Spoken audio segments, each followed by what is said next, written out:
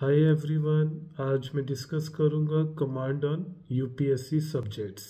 so that start by covering the basics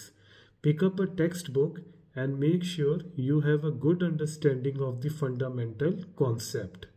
उसके साथ साथ आप प्रीवियस ईयर के क्वेश्चन पेपर्स भी देख सकते हो जिससे आपको एक आइडिया लग सकता है कि एग्ज़ाम में कहाँ से और कैसे क्वेश्चंस पूछे जा सकते हैं।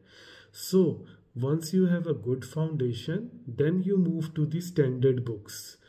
एक चीज़ नोट्स को खुद आप लिखकर बनाइए जिससे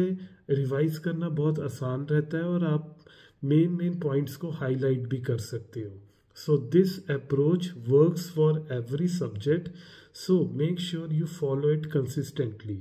and आप एग्ज़ाम्स वगैरह देते रहिए प्रैक्टिस एग्ज़ाम जिससे आपको अपनी वीकनेस का भी पता चलता रहेगा और आप उसको इम्प्रूव भी कर सकते हो।